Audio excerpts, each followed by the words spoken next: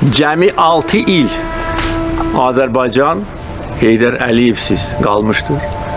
Və bu 6 il bizim üçün faciəvi, böhranlı, utanc verici illər kimi tarixdə qaldı. Torpaqlar işğal altına düşdü.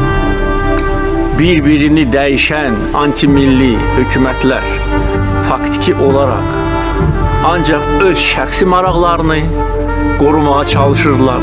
Həm Sovet dövründə, həm müstəqillik dövründə.